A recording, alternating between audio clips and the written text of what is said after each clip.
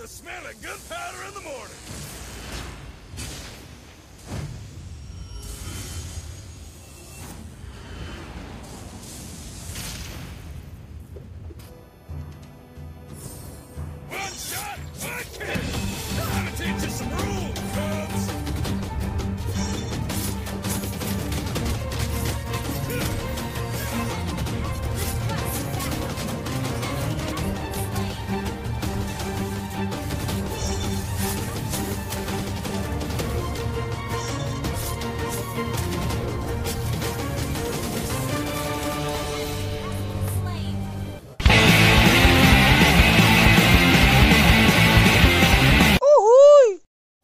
Halo guys, salam Suriken Balik lagi bersama Ceng Ceng Gaming. Di video kali ini kita akan membahas tentang tutorial Franco terbaru 2020 Ya di sini kita bermain solo rank, kita langsung pick hero Franco-nya. Dan di sini kita akan melawan Selena, Tigreal, Sylvana, dan Granger serta Digi ya. Nah di dalam posisi seperti ini banyak hero-hero stun pada musuhnya. Pada saat kita bermain Franco, pertama kali yang kita beli yaitu item dua mana ya. Karena saya melihat beberapa dan menganalisis leaderboard, kemudian beberapa gameplay seperti Fog MOBA, kemudian player-player top global itu selalu membeli pertama kalinya bukan item room, tetapi item mana. Kemudian setelah item mana kita jadikan sepatu rapid boot. Apa itu sepatu rapid boot? Sepatu yang menambahkan movement speed yang sangat kencang ya. Kemudian setelah rapid boot jadi, barulah kita membeli item room. Karena bila kita membeli item room di awal, maka kita akan tertinggalan level dan susah mendapatkan level 2 ya. Ya, untuk pasif Franco sendiri yaitu sangat cocok digunakan combo ya yaitu mempercepat movement sebe- sebesar 10% kemudian emblemnya seperti ini. Saya menggunakan emblem support ya dan rata kiri ya. Eh, rata kanan ya rata kanan. Kemudian build dan emblemnya seperti ini. Bisa sobat surikan contoh. Ya bang kenapa nggak pakai sepatu cooldown bang? Ya karena saya ingin mengkombokan pasif dari skill Franco yaitu menambah movement speed meningkat 10% dan meregenerasi 1% dari HP maksimum per detik bila Franco tidak diserang diserang pada saat waktu yang singkat ya. Nah, jadi Franco memiliki movement speed tambahan sebesar 10%. Kemudian emblem supportnya rata kanan ya yang menambahkan movement speed. Setelah itu kita membeli item rapid boot. Bisa tahu sendiri kan kecepatan jalan Franco seperti apa. Nah, fungsinya apa bang? Untuk movement speed kenapa nggak cooldown? Kan cooldown bisa menarik musuhnya dengan cepat bang. Ya, di sini saya gunakan untuk roaming dan menakuti nakut-nakuti musuhnya ya. Karena saya pribadi bila merawan Franco, bila Franco-nya datang saja, saya nggak tahu Franco-nya ada skill ulti atau skill hooknya ya. Jadi saya ketakutan ya seperti apa ya memberikan pressure lah pada musuhnya ada lawan-lawannya ya. Nah setelah jadi, nah bila Tigrealnya mau rusuh ya seperti ini, dia sampai menggunakan flicker ya untuk menghindari hook dari Franco ya di sini. Nah di sini momen-momen 1 vs 3 ya ada Sylvana, Diki dan Tigreal. Saya hanya sendirian di sini. Nah defense sendirian, defense sendiri dan kita berhasil mendefend walaupun 1 vs 3 ya. Nah, di sini kita open map, open map. Terjadi war besar, terjadi war besar, ya busanya tertake down. Kita tunggu momen. Santai, santai. Perhatikanlah Tigrealnya. Dia ulti angin ya Tigrealnya. Tigrealnya ulti angin saking ketakutannya dengan Franco ya kita jangan asal masuk ya kita tunggu momen tunggu momen tunggu momen setelah momen ada kita langsung tarik ya. Yang garis sekarang tarik das skill 1 ulti dan auto tewas tigrealnya oke.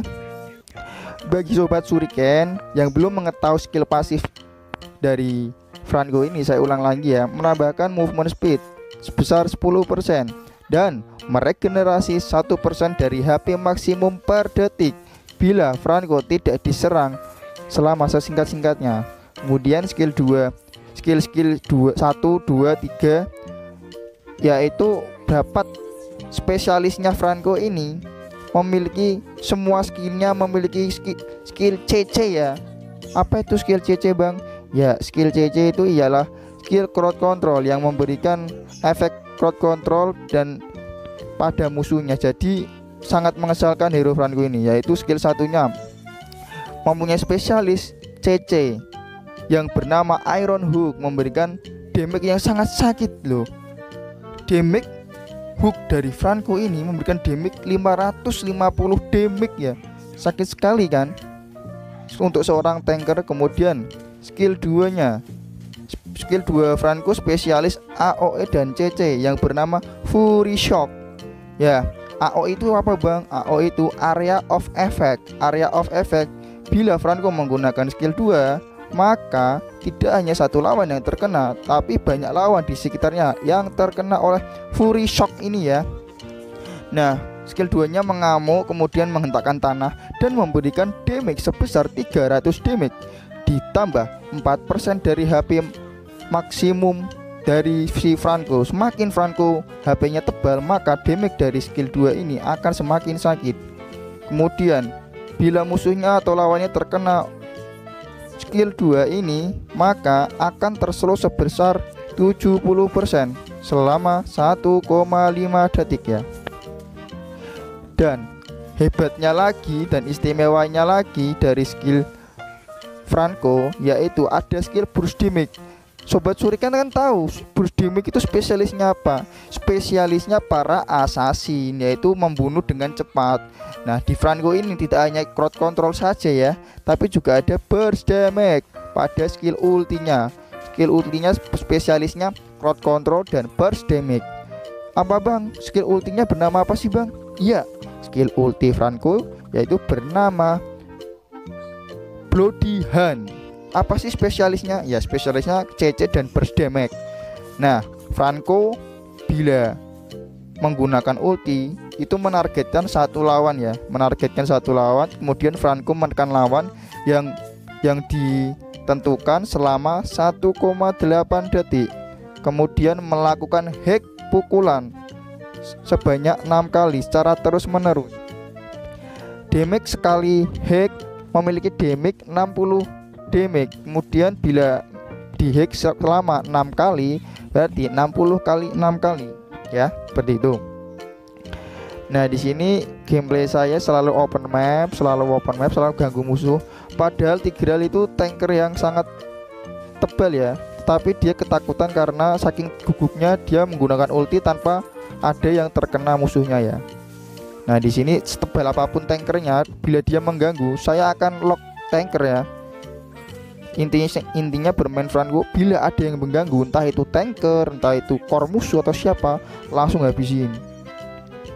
Saya seperti itu karena saya melihat dan menganalisis dari permainan beberapa top global kayak seperti Fog MOBA kemudian ada beberapa top global lainnya.